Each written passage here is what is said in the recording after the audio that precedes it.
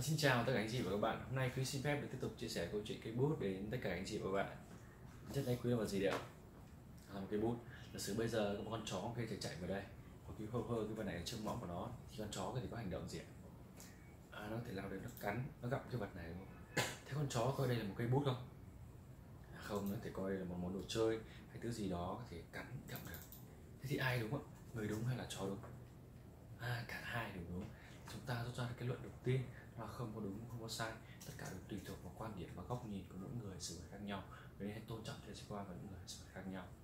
Thì trong một số trường hợp, chúng ta sẽ có đúng có sai khi đã có những quy ước từ trước những quy ước về đạo đức, pháp luật, hay quy ước giữa một đội nhóm hoặc hai người trở lên. Thì chúng ta đã có thế nào là đúng, thế nào là sai, thì chúng ta chắc chúng ta cần phải tôn trọng theo quy ước đó. Còn trong trường bình thường thì mỗi người đều có một cái quan điểm và góc nhìn khác nhau. Hãy tôn trọng thế giới quan người sự khác nhau để tránh xảy ra những cái cãi vã không cần thiết trong cuộc sống này. À, rồi bây giờ cứ đặt cái vật này đây. Tất cả mọi người đều bước ra ngoài. Tất cả chó đi ra ngoài. Căn phòng trở nên trống không mà chỉ có cái vật này đây.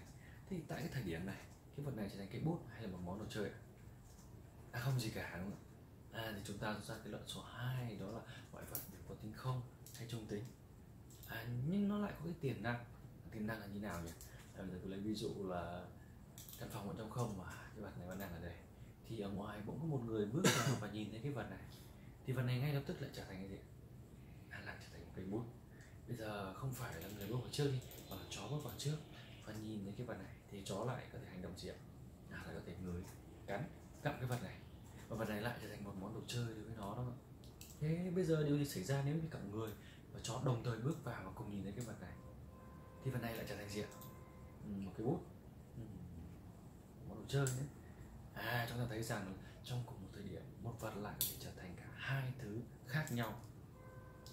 Thì đấy chính là cái tính tiềm năng của sự vật. Một vật năng là không lại có thể là trở thành một cái bút khi người thấy lại trở thành một món đồ chơi khi chó thấy nó và thậm chí trở thành cả hai thứ khác nhau khi cả người và chó đồng thời cùng nhìn thấy.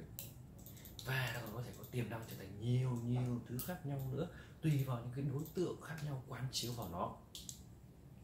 Đó chính là tính tiềm năng rồi thế cái thời điểm khi mà người bước vào và nhìn thấy cái vật này vật này ngay lập tức trở thành một cây bút ấy, là xuất phát từ nó là tự nó là cây bút rồi. Hay xuất phát từ phía người thấy nó là một cây bút ạ? Nó xuất phát từ phía người đúng không ạ? Tại vì nếu như tự nó là một cây bút thì con chó thì đây là cây bút rồi. À, chó thì biết từ một gái. Ồ uh, em yêu em có một đuôi thật là đẹp và một, một cái mõm thật là xinh uh, cho anh hôn cái.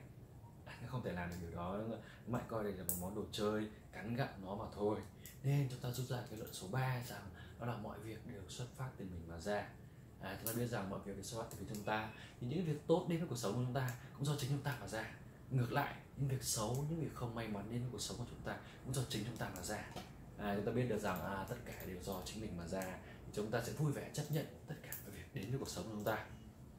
Và chúng ta sẽ dừng đổ lỗi phán xét cho những người sự vật xung quanh mà tập trung vào bản thân mình vui vẻ chấp nhận nó và tìm ra giải pháp để giải quyết những cái vấn đề hay tìm ra những giải pháp để đưa ra những cái những cái phương án tốt hơn cho cuộc sống của mình. À, rất là tuyệt vời chúng ta biết được điều đó. Và mọi việc đều xuất phía chúng ta là một ý nghĩa nào đó chúng ta có thể thay đổi được nó đúng không ạ? À, bây giờ không thử xem có thể thay đổi được không nhá giờ cứ muốn thay đổi vật này trở thành một kim cương chắc có được không nhá à, tôi muốn thay đổi thành một kim cương. Cho con chim kim cương. Bùm! Cái gì đấy ạ? À, vẫn là một cây bút chẳng có gì xảy ra cả. Thì mọi người thì đi làm quý đã cầu nguyện đã suy nghĩ tích cực đã mong muốn biến cái vật này trở thành một viên kim cương nhưng chẳng có chuyện xảy ra cả. Nó vẫn là gì à, vẫn là một cây bút chẳng có chuyện xảy ra.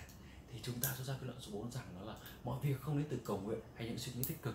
Nên chúng ta có dù có chỉ nghĩ suy nghĩ tích cực chỉ cầu nguyện chỉ mong muốn biến được cái mọi thứ mà mình mong muốn thành hiện thực thì chẳng có chuyện xảy ra cả đâu. Nên chúng ta hãy dừng mong muốn chỉ bằng suy nghĩ tích cực hay cầu nguyện. Mọi thứ sẽ không bao giờ xuất hiện được.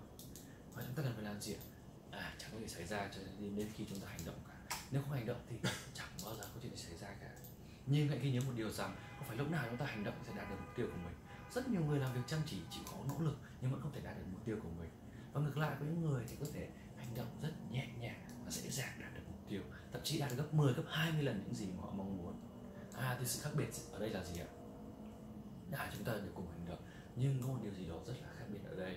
Khi ta nhìn thấy cái vật này và ngay lập tức ta liền nhận ra nó là một cây bút thì nó xuất phát từ phía chúng ta hay nó khác từ trong tâm trí chúng ta mà ra. Trong tâm trí chúng ta cũng đã có một giống như một cây bút rồi. Và ngay lập tức chúng ta nhận ra được. Và cái điều này nó nhanh đến cái mức mà chúng ta không hề nhận ra được. Và nó xuất phát từ trong tâm trí của mình.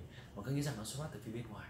Nên chúng ta thường lầm tưởng là mọi thứ từ do bên ngoài mà ra mà không phải từ phía chúng ta và tương tự như vậy, những điều chúng ta mong muốn hay những thành công trong cuộc sống cũng đều xuất phát từ phía chúng ta mà ra. Nên nếu chúng ta muốn mong muốn được nó thì trước tiên ta phải có nó trong tâm trí của mình. Phải có hạt giống về những cái điều chúng ta mong muốn ở trong tâm trí thì chúng ta mới có thể dễ dàng hành động để đạt được nó ở thế giới bên ngoài. Và đó chính là năm cái bài học mà quý muốn gửi gắm đến tất cả các anh chị và các bạn. Mong rằng thông qua năm cái bài học này, tất cả các anh chị và các bạn có thể ứng dụng cuộc sống của mình, đem lại lợi ích cho bản thân, gia đình và cộng đồng. Quý thành cảm ơn hay quá.